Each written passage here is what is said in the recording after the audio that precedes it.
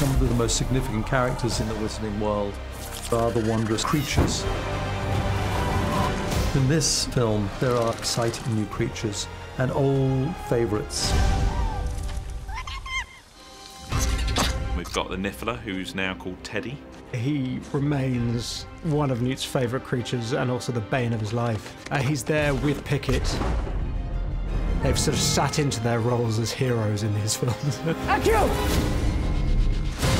There's this extraordinary new creature called a wyvern. which is a little bird-like two-legged dragon, and it has massive wings. In the Harry Potter universe, the Phoenix is this spirit that comes to Dumbledores who are in need. Ah. Fascinating creatures, phoenixes.